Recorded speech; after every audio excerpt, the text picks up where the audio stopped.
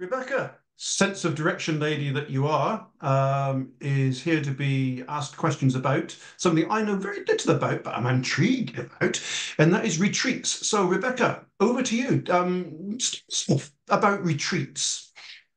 Thank you, Andrew. Yeah, this is something that I've been doing for a couple of years now. Um, we started off with a couple of residential retreats, but then we changed them to day retreats. So we found that actually um, a, a, whole weekend is quite a long time to commit uh, to, to for people, especially women who we aim it at if they've got families and things. So a day retreat.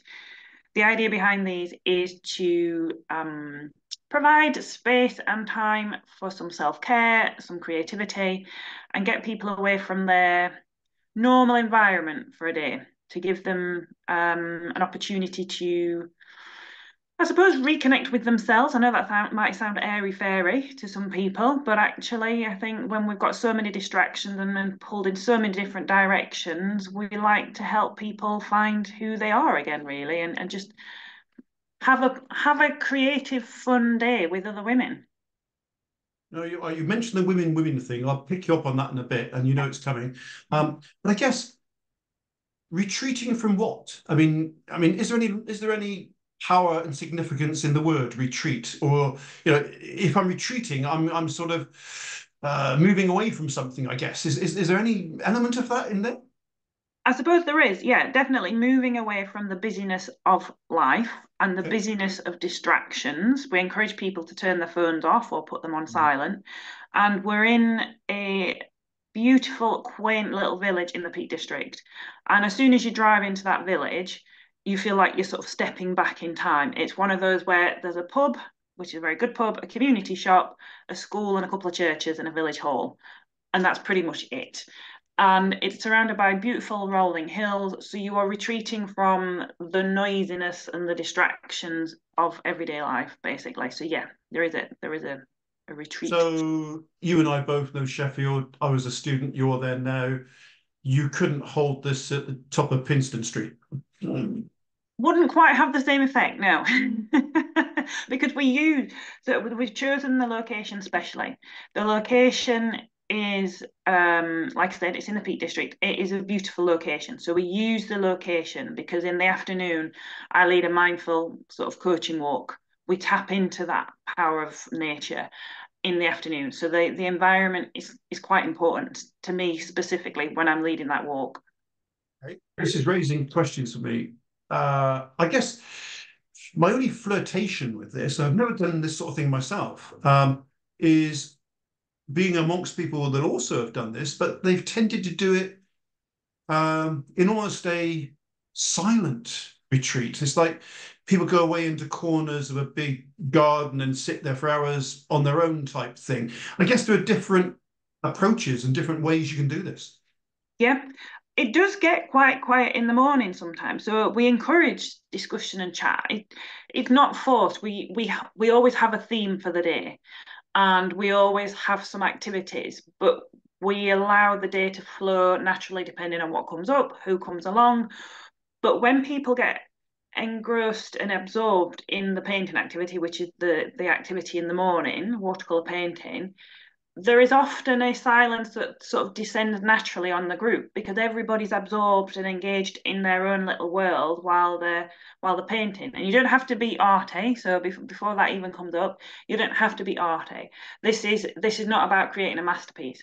This is about a mindful practice where you get to literally play with color you know and it's, it's all abstract. We use color we use different patterns you know we'll have sort of like i say a loose theme so we might all be given the same instructions but the artwork at the end of it is all very different.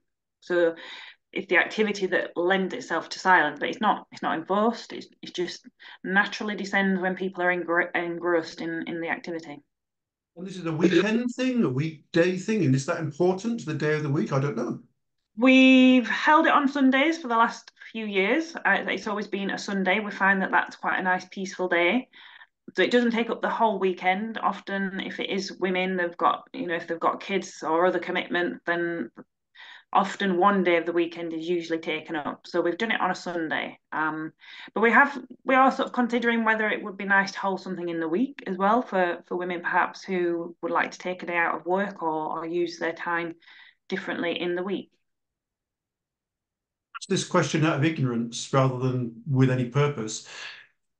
Does it sound at all like therapy? Is it group therapy? Am I using the wrong word to describe this? Is is therapy in there at all anywhere? I think you, I think participants may find it therapeutic, but it's not therapy. That we we ne- we never say it's therapy, but I think it's there's a lot of different elements to it in some respects because there is the the mindful activity and that's a deliberate activity the painting. Creative activities help us to access a different part of our brain.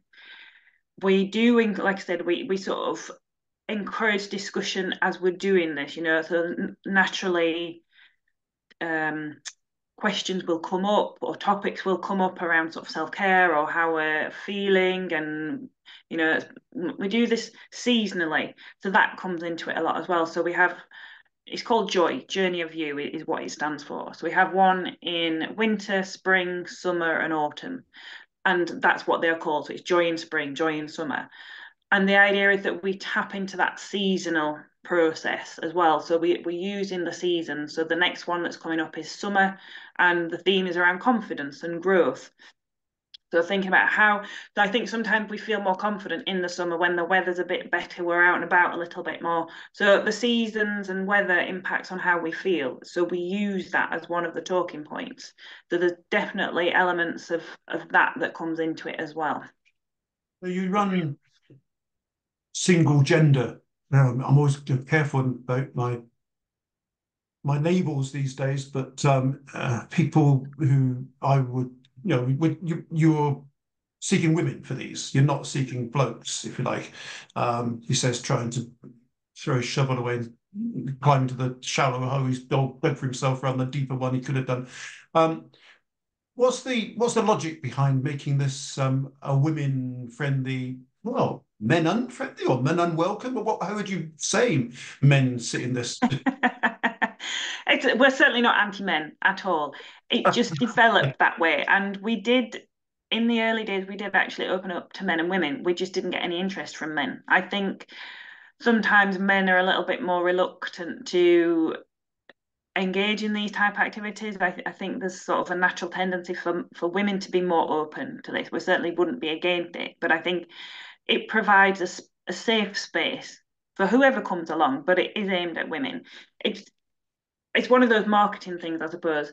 You can out, you can open it to anybody and everyone, but then nobody's interested because you're not targeting a specific person. When you target it at women, then it's easier to sort of explain things, I suppose, in some respects. Well, yeah, I mean, I, I, I don't want to digress into what that might be an indicator of, but I've long taken the view that women just engage in more developmental things more actively than men. And this is probably a more acute example of that by its nature. So, yes. so what do you hope people go away with? You, I, wrote down reconnecting with themselves and being in self care. Um, yeah, the, I, I, get that. I get those the headlines, but what do you what do you hope people will go away and and do better for themselves as a result of a retreat? The self care is really important to us. So we hope to help people. Self care will always come up in one way or another on, on all of the retreats that we do. So we hope to encourage some either better or more self-care practices and allowing people to have that time for themselves. I think help, help me a bit, help me a bit. I don't probably don't understand the self-care label. Mm, yeah, so uh, sometimes it's just about having space for yourself to engage in activities that you enjoy, you know, and having leisure time is, certainly one of them. I think sometimes, especially women, if they if they've got families and things, they can feel slightly guilty putting themselves first and doing things mm. just for them rather than doing the chores at home or feeding people or working or whatever. We're sounding horribly 1950s here, but it's reality, isn't it? It is reality, unfortunately. You know, I think we're, we're all busy and we all have lots of things to do. So actually taking the time out. So we encourage people to just be there for themselves that day and do something that's fun and we we give them ideas that they can do at home as well you know so you know some tips for going out when they're walking to engage with the senses the watercolor painting is very easy to do you don't need much equipment to do that or it could just be drawing you know and engaging that creative side the other thing that's important on these retreats is the food um, food, I love food. and that's a, an important part of the day. Sitting down and sharing a meal with these women is wonderful. But it's not just any meal. We we have a lady who comes You're in. Tell you forage. No, we don't we don't forage, and it's not, not we have a lady who comes in and actually prepares it for us. You know, she'll she'll bring some ready prepared, but she'll prepare it there for us. It's not like your sandwiches and your sausage rolls. This is vegan, which again, sometimes people think, oh, vegan, but it's the most colourful array of food that you can ever expect and so tasty. I mean it, we had what did we have on the last one? We'll often have sort of a curry type thing or a soup type thing. Again that would be seasonal depending on the time of year and everybody comments on the food on how nice it is and, and how different it is to your usual sort of finger buffet type thing. You know it's always really really satisfying. So that's always part of the day is celebrating and having food together before we go out for the walk in the afternoon Okay, time's always against us, but I just want to squeeze this one in. It sounds to me like a self-funded people there individually for themselves. Is there a corporate element to this? That's a horrible word. Is this something organizations should think about? Uh, do they? Where are organizations with all this sort of stuff? I think they should think about it because it provides an opportunity for people to look after themselves and if you look after yourself, you're more productive. And, and that's sort of looking at it from an employer's point of view. If you've got happy staff who are looking after themselves, you've got more productive staff. So I think this would be a really great opportunity for those employers who are forward thinking and are genuinely interested in the well-being of their staff you know it would definitely it would definitely be worthwhile the investment in that. Yeah, it's not a team building event and that sort of stuff. It's it's very different to that. I can I see that. Yeah, yeah. It's always it's a way of building connections with people, but it's not what would call a team building day. No. And being away, the retreat is to be away from what would otherwise distract, whether that's a workplace, whether it's a family place. I I, I see that. Yeah. Okay, anything else you want to squeeze in that um, I, I've not asked you about that you think is important to raise? I just think for some women, we we have some women who come on each one throughout the year, and they see it as almost like an anchor point that is something to look forward to. They know that that's something in their calendar just for themselves, you know. And so you can you can come once, or you can come all four times throughout the year. You know, you'll get a warm welcome regardless. Well, it's a good place to end. I sure I, we should we should retreat, fade away into the background as we cease this recording. Once he works out where the button is these days, um, and he's not found it yet. So I'll just keep babbling on. Oh, there it is. Oh, he's moved up there. Thank you Thank very you much. very much.